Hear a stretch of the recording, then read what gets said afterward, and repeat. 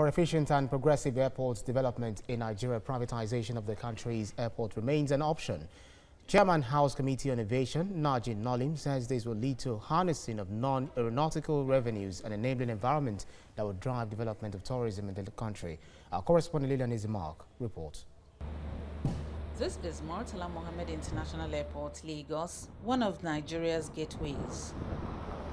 International passengers' first impressions on the country are made here. Minister of Aviation Hadi Sirika is worried that airports managed by government are underdeveloped and grossly underutilized, leading to huge losses both in aeronautical and non-aeronautical sources.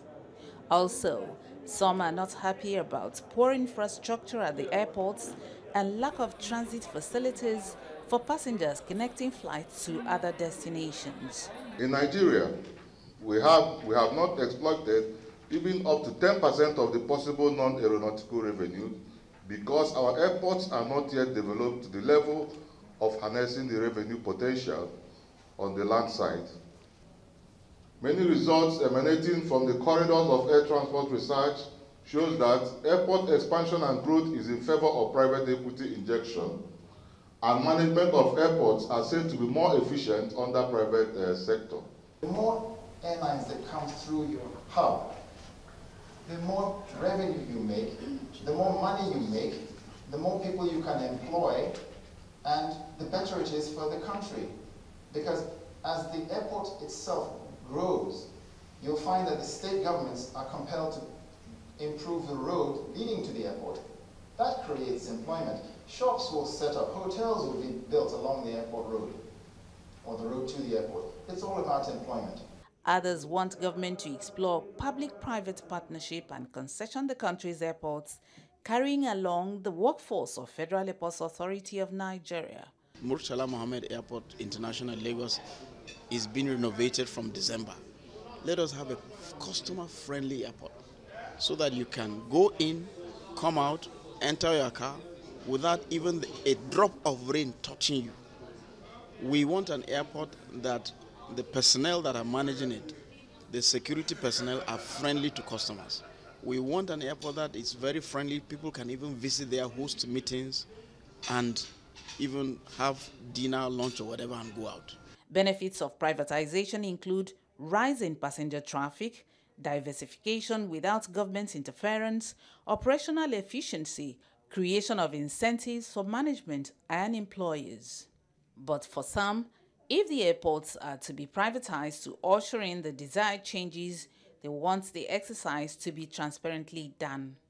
The gains of airport concessioning in Nigeria are expected to include modern terminal, infrastructure upgrade, better revenue generation, and beautiful passenger experience.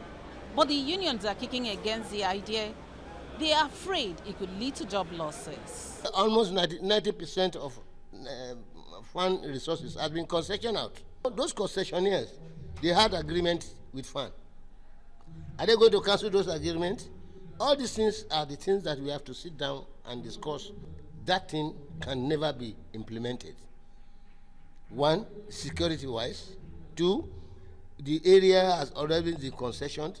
Three, there are a lot of debts outside. International Air Transport Association's research shows that privatization could lead to monopoly, imposition of high charges on airlines, passengers, and lack of consumer protection from the charges. Apart from job losses, other challenges of privatization in Nigeria are compromising of national security and the yet-to-be-reviewed Act that established the Federal Airports Authority of Nigeria. Nigeria's annual airport summit suggests steps that can be taken for a successful airport concession. These include unbundling of Federal Airports Authority of Nigeria to address the problems of job losses and unemployment.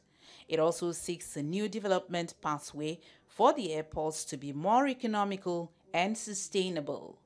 Lilian Eze-Mark, TVC News, Lagos.